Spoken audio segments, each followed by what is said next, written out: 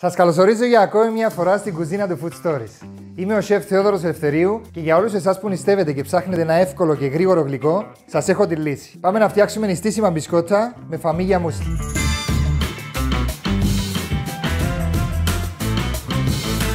Το πρώτο βήμα για τα μπισκότα μας είναι να προθερμάνουμε το φούρνο μας στους 175 βαθμούς.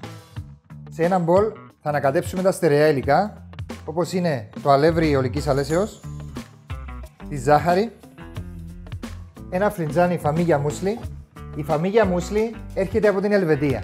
Η ιστορία της φαμίγια και του πρώτου μουσλι στον κόσμο ξεκίνησε όταν ο ιατρός Beecher Μουσλι θέλησε να φτιάξει μια συνταγή καλής υγείας για τους ασθενείς του. Χρησιμοποίησε βρώμη, μήλο και ξηρούς καρπούς και δημιούργησε ένα υγιεινό γεύμα το οποίο δεν άργησε να γίνει διάσημο από στόμα σε στόμα. Από τότε τα προϊόντα φαμίγια έχουν κατακτήσει τον κόσμο.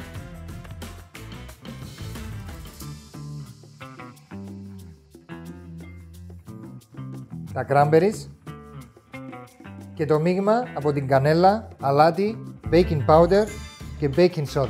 Σε ένα δεύτερο μπολ ανακατεύουμε τα υπόλοιπα υλικά εκτός από τη σοκολάτα κουβερτούρ. Maple syrup, coconut oil και λίγο εκχύλισμα βανίγιας. Το εκχύλισμα βανίγιας θα δώσει ένα υπέροχο άρωμα στα μπισκότα μας. Θα χρειαστούμε μια σπάτουλα και σιγά σιγά θα ενσωματώσουμε τα δύο μείγματα.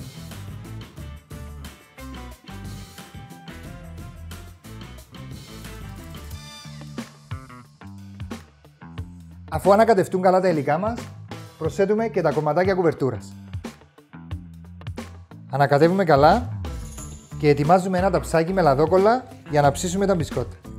Για κάθε μπισκότο θα χρησιμοποιήσουμε περίπου μία κουταλιά της σούπας και στη συνέχεια θα τα πιέσουμε στις παλάμες μας. Τα υλικά και την εκτέλεση συνταγής θα τα βρείτε στο foodstories.com.cy Για να δώσουμε ωραίο σχήμα στα μπισκότα μας, τα πιέζουμε ελαφρώς και μετά θα τα βάλουμε στο φούρνο. Πάμε να ψήσουμε τα μπισκότα μας στους 175 βαθμούς για 10 με 12 λεπτάκια. Έχουν περάσει 12 λεπτά και είμαστε έτοιμοι να βγάλουμε τα μπισκότα μας από το φούρνο. Αφού αφήσαμε λίγο τα μπισκότα μας να κρυώσουν, είμαστε έτοιμοι να τα σερβίρουμε. Μια εύκολη και νηστίσιμη συνταγή που δεν μπορεί κανένας να αντισταθεί. Και για να ολοκληρώσουμε αυτή την υπέροχη και νηστίσιμη συνταγή, θα προσθέσουμε λίγο μέλι τσιβέρτη.